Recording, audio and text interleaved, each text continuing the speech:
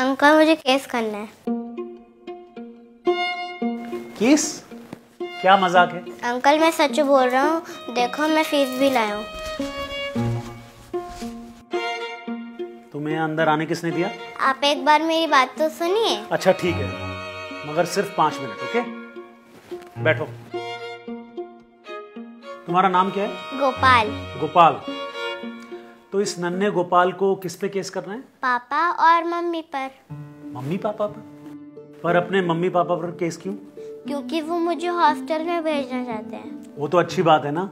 वहाँ जाकर तुम डिसिप्लिन सीखोगे पढ़ाई लिखाई करके बड़े आदमी बनोगे। लेकिन अंकल वो तो बस मुझसे पीछे छुड़वाना चाहते हैं। मैं समझा नहीं। अंकल आपके मम्मी पापा आपका ख्याल रखते होंगे ना? हाँ हाँ बिल्कुल रखते थे। कैसे रखते थे? भाई जैसे सबके मम्मी पापा रखते हैं वैसे ही रखते थे। मेरे पापा रोज सुबह अपनी मोटरसाइकिल से मुझे स्कूल छोड़ने जाते थे और वापस लेकर आते थे। अच्छा।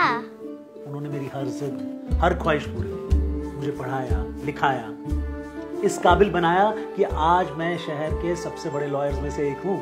और आपकी मम्मी वो भी तो केयर करती होगी ना? अरे माँ से ज़्यादा तो क्या ही कोई केयर करेगा। मेरी माँ के लिए तो मैं पूरी उनकी ज़िंदगी था।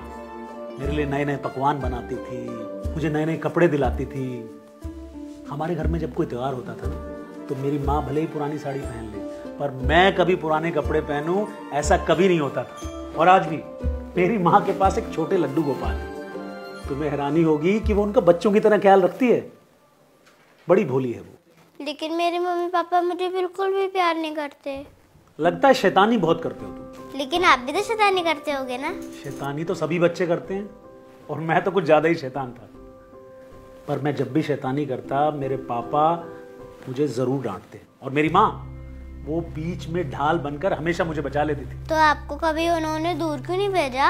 अरे शायद उन्हें लगता हो कि अपने पास रखकर वो मेरा ज़्यादा अच्छे से ख्याल रख सकते हैं। जैसे तुम्हारे पेरेंट्स को लग रहा है कि वो हॉस्टल भेज कर तुम्हारा अच्छे से ख्याल रख सकते हैं। वही तो अंकल। ख्याल रखने के लिए मम्मी पापा से बेटर कौन होगा? ये बात तो ठीक है तुम्हारी। मम्मी पापा से बेहतर कौन ख्याल रखेगा? तो फिर आप अपने मम्मी पापा को वृद्धाश्रम क्यों भेज रहे हो? क्या मतलब? तुम्हें सब कैसे पता? कौन हो तुम? किसने भेजा तुम्हें यहाँ? मैं गोपाल लड्डू गोपाल। और मुझे किसी ने भेजा नहीं है। मैं तो माँ के कहने पर आया हूँ। कौन हो तुम? माँ ने मुझे कहा मैं आपको समझाऊँ तो फिर मैं आ गया। बहुत हो गया तुम्हारा ये मज़ाक। उठो यहाँ से। अरे, देख क्या रहे हो? उठो उठो।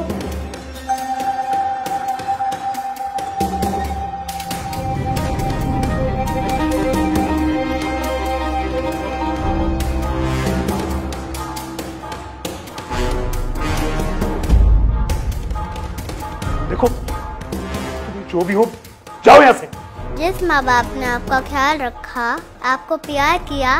आपको सब कुछ दिया। आप उन्हें घर से कैसे निकाल सकते हो?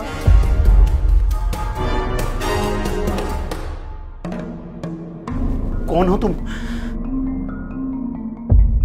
हे कान्हा जिसे हमने लाड़ प्यार से पाला था आज वो हमें बेघर कर रहा है। हमें वृद्धाश्रम भेज रहा है। आपसे एक ही विनती है हमारे जाने के बाद आप उसका ख्याल रखिएगा।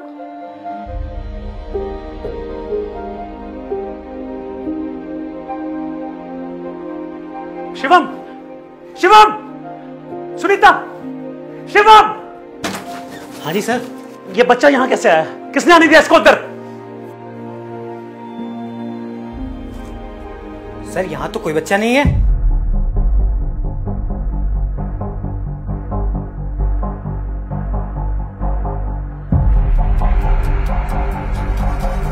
अंकल मुझे केस करना है। देखो मैं फ़ीस भी लाया हूँ।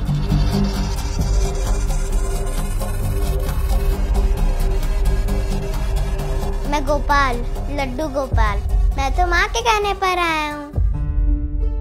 जिस माँ बाप ने आपका ख्याल रखा आप उन्हें घर से कैसे निकाल सकते हो? क्या हुआ सर? आप परेशान लग रहे हैं? पानी वगैरह कुछ लाऊं? नहीं नहीं कुछ नहीं चाहिए तुम जाओ यहाँ से। Okay sir.